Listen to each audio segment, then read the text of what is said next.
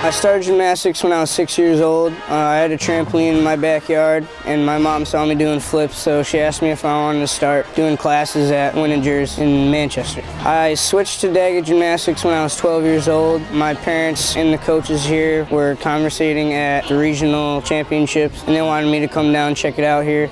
Five out of the seven days a week, Shaun Herzog drives 45 minutes to and from his gym for three and a half hour practices. After warming up, his gymnastics team practices all of their events and routines in which they compete. Shaun and his teammates constantly encourage each other and push themselves to improve every day.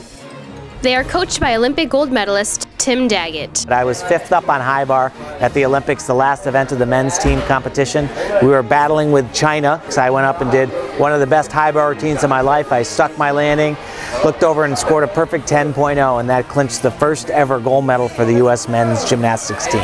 Shaun has done a tremendous job. He's gotten much better every year. A very diligent kid, hardworking, and he has aspirations to be a top gymnast, which is tremendous. He has some events that are just phenomenal, off the charts for uh, his age. Tim has very high expectations for every one of his gymnasts and accepts nothing but the best from Shaun and his teammates. Since Shaun joined this competition team, he has traveled around the country and won over 50 medals. In 2013, he placed first at regionals and fifth in nationals in the junior Olympic division for his age group.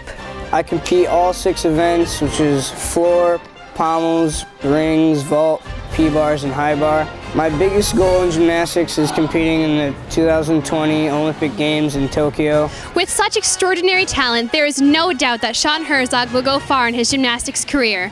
Hopefully, when you tune into the 2020 Tokyo Summer Olympics, you'll see this Manchester High School student stepping onto the International Awards podium.